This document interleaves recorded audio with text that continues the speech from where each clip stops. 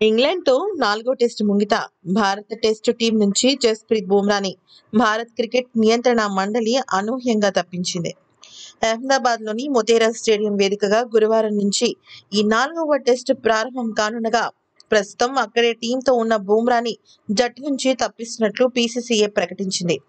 వ్యక్తిగత కారణాలతో తనని టీం నుంచి తప్పించాలని తాను స్వయంగా అంటే జస్ప్రీత్ బుమ్రాను రిక్వెస్ట్ చేసినట్లు బీసీసీఏ ఒక ప్రకటన ఇంగ్లాండ్తో థౌజండ్ సిరీస్లో రెండు టెస్టులు ఆడిన బుమ్రా రెండు వందల ఎనభై ఎనిమిది బంతులు వేసి నాలుగు వికెట్లను మాత్రమే పడగొట్టాడు అయితే ఇక విషయంలోకి వెళ్ళినట్లయితే వ్యక్తిగత కారణాలతో నాలుగో టెస్టు ముందుగా తనని టెస్ట్ టీం నుంచి తప్పించాలని బీసీసీఐ బీసీసీఐని జస్ప్రీత్ బుమ్రా రిక్వెస్ట్ చేశారు.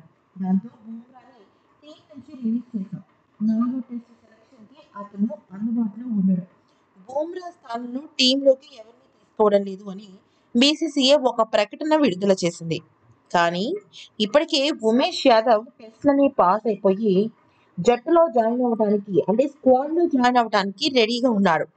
అందుకనే ఇప్పుడు బూమ్రా స్థానంలో ఉమేష్ యాదవ్ కంపల్సరీగా వస్తున్నాడన్న వార్తలు చాలా స్పష్టంగా కనిపిస్తున్నాయి.